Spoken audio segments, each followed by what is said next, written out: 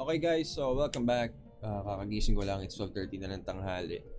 Napuyat ako kagabi kasi tinapos ko yung eto, etong pag-collect ng SLP. Dahil ginawa ko kahapon, inubos ko yung energy sa arena.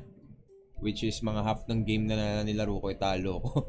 so naisip ko, sa adventure na lang ako mag-stick muna for now. Dahil yun din yung mga farming guides na napanood ko sa YouTube na ginagawa nila is mag-focus ka muna, kung beginner ka lang, mag-focus ka muna sa adventure. Okay, now, susubukan natin bumili ulit ng isa pang Axie today. So, para if ever may SLP na tayo, we can breed and we can recoup our money, fa- our money faster. So, kay kahapon, nag-message sa akin yung kaibigan ko, he wants money in sa maliit naming korporasyon dito sa Axie Infinity. So, bibili tayo ng Axie para sa kanya. So, ang napili kong Axie is this one. Yan.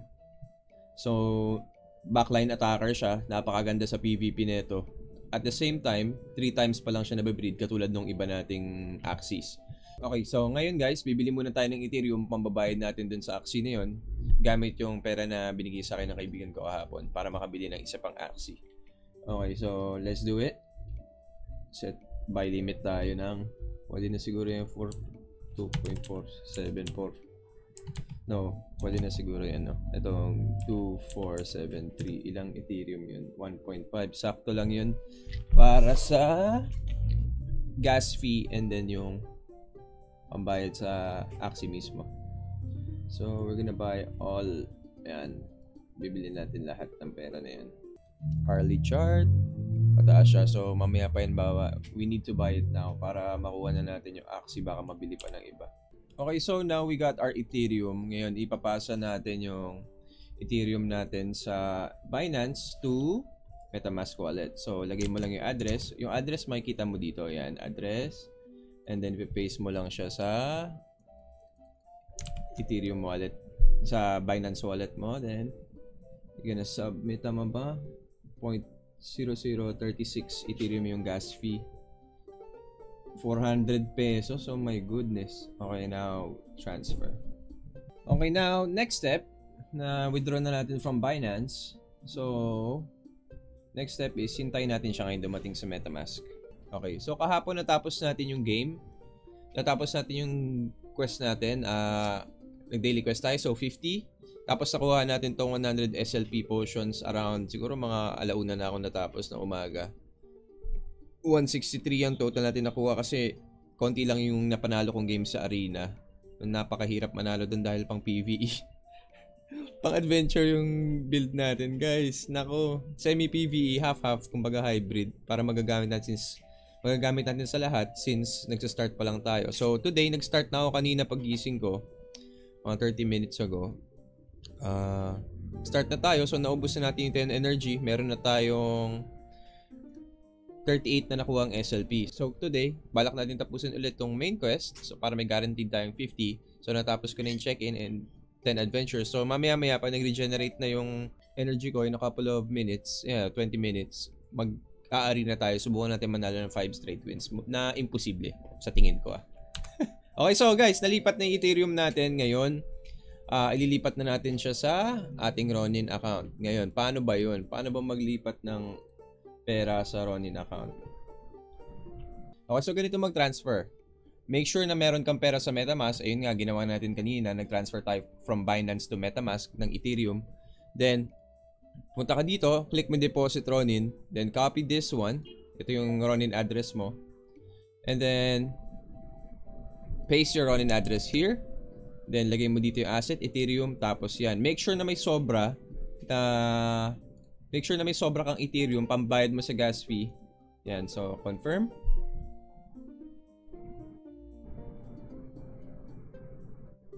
check natin yan. Ito 360 plus gas fee. So may matitira pa tayong balance. 143. Okay, okay, okay. Edit natin yan. Kung maglalagay tayo nito, magkano aabutin.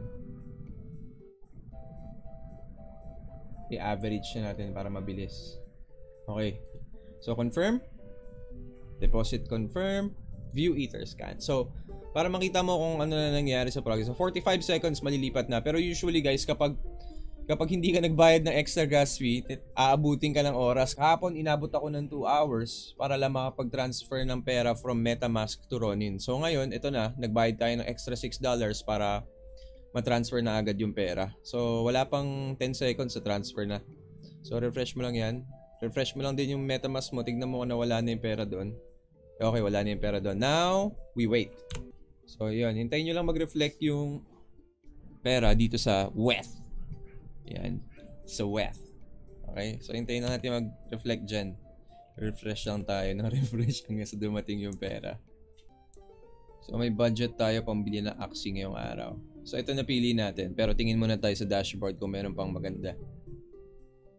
So, ito talaga, ang target talaga namin is something like this. Yung merong cactus at hotbot, pero wala siyang hotbot. So, ito sana, kaya lang hindi siya pure breed. Alanganin tayo dyan. For now, while we are waiting para sa ating pera dumating, uh, check muna tayo ng check tayo ng pwedeng mabili. So, ang first choice natin ito, kasi pwede ito pang PvP. Yung build niya, pang backline attacker. Target the fastest enemies. Most probably, mga kapwa niya bird. So, maganda to.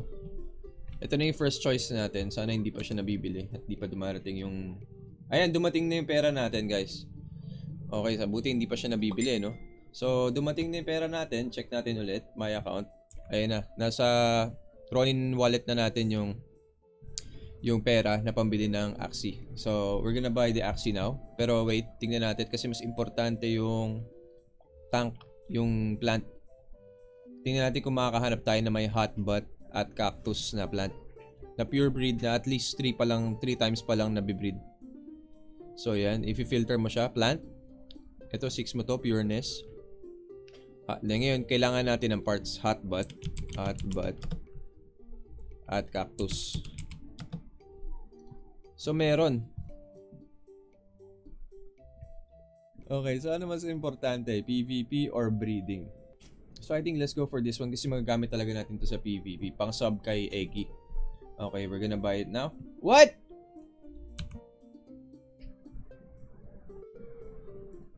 Nako, nabili na ata tong Axie na to. Oh no. So punta tayo doon. Bird breed count 3. Tapos pureness 6. Kailangan natin makakuha ng ganon. Okay guys, so we're back. Naputol yung recording ko. Kaya pala hindi ko siya mabili kanina. Kasi hindi tayo nakalogin sa Ronin. So make sure na nakalogin yung Ronin nyo dito sa extensions. Then now we can buy This one. So, bibilin na natin siya. Okay. Yay! So, nabili na natin siya, guys. Ngayon, punta tayo sa account. Yan na. Yes! Okay, meron tayong bago. So, papangalan natin siya sa isang anak niya na babae. Okay, hintayin natin siya dumating dito. Yes, nabili. Umabot tayo. Kinabahan ako. Malulungkot na sana ako. Pero naalala ko. So, make sure nakalagin yung Ronin nyo dito sa gilid. Yan, make sure naka-login dyan. Refresh natin. Okay, yan na, nabawasan na yung pera natin. Yan, nakuha na natin si BB. BB, yay! Now we have BB. We're gonna change the name. Balitan natin yung pangalan niya. Pangalan natin kay Irie. Si Irie. Si Irie Pot. Yan, inaanak ko yan si Irie Pot. May toy ka sa akin na Irie Pot pag nakita tayo. I promise you that. Okay, anyway. So, ito na si Iripot. Gagamitin natin siya pang PvP as well as, as pang breed. Yan. Kasi, mahal ang mga birds. Birds, plants, and beasts. Normally yan kasi yung mga binibili ng mga standard ng mga nagsa-start. So, gawa natin siya muna ng picture. Okay, so, ayun guys. Uh, nakabili tayo ng bago. So, ang target natin ngayon is makapag-breed na ng isang egg and somehow makarecoup ng money. Okay? So, pag-breed natin ng egg na yun, bibreed pa tayo ng isang egg. So, mag-breed tayo ng mga tatlong ibon. Then, we're gonna sell it all para money back. I hope subaybayan nyo tong journey namin. Let's see kung makakabili ng motor si Timmy, isa sa mga nagbigay ng... Eto, actually siya yung bumili nito, si Irie. Pera niya yung ginamit natin dito pambili. Gusto niya raw bumili ng bagong motor. Gusto niya ng Vespa. Gaano katagal? Gaano karaming SLP ang kailangan natin para makabili siya ng Vespa. So yun guys, subaybayan natin lahat yan. Okay, lahat kami may goal. Isa-isayin natin yan dito sa journey natin sa Axie Infinity. Okay guys, so we're done for today. Uh, ayun, nakabili tayo ng bagong Axie. Ito para kay Tim. Sa kaibigan ko, shoutouts to Tim, shoutouts kay Jonel, shoutouts kay Kenj. Mga kasama ko dito sa Axie Infinity.